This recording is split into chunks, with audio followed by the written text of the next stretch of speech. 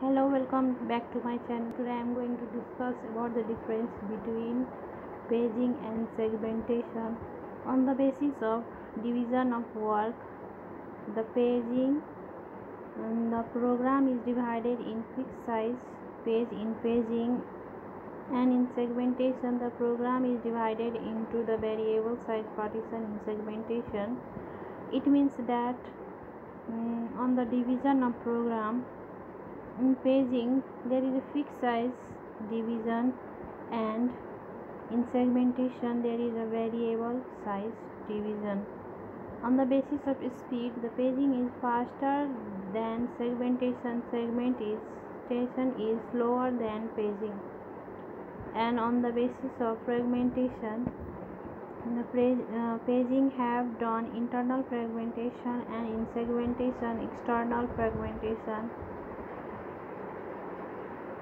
And on the basis of protection it is very difficult to apply for protecting protection in paging and in, on the basis of protection in segmentation easier to apply in protection in segmentation handling of data structure in paging is difficult to handle and in, in segmentation it is efficiently handled.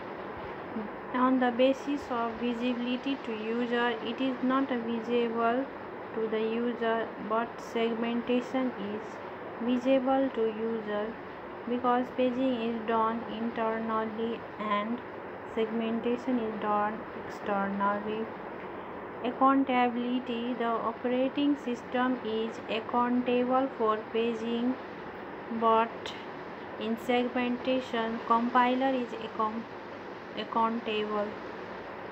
On the basis of determining the size, hardware determine the page size or in segmentation, user determine the section size.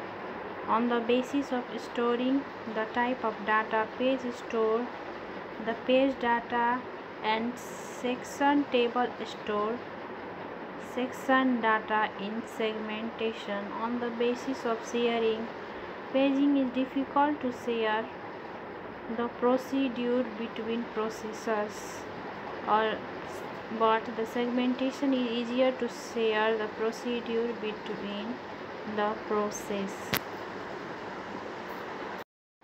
thanks for watching my channel. Please like and subscribe my channel. Have a good day